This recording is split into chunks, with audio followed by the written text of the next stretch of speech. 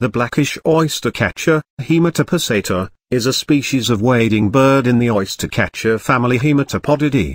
It is found in Argentina, Chile, the Falkland Islands and Peru, and is a vagrant to Uruguay.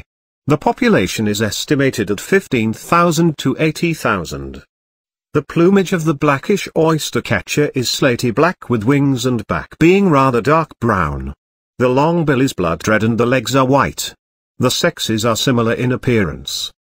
The blackish oyster catcher is easily overlooked on a rocky shore.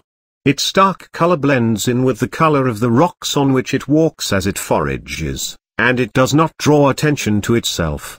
Its presence, however, can easily be detected by its loud and distinctive warning calls.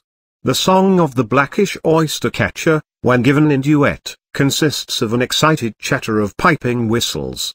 Calls include notes that sound like pip and p-e-e-i-e-e.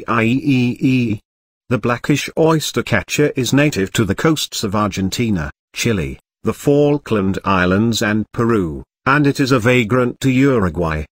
The natural habitats of the blackish oyster catcher are rocky shores. It feeds in the intertidal zone on rocky shorelines, in rock pools and on pebble beaches. Rarely, it can be found on sandy beaches hunting for mole crabs. The IUCN rates the blackish oyster catcher as being of least concern. It is not clear whether the population is increasing or decreasing, but the bird has a very large range and at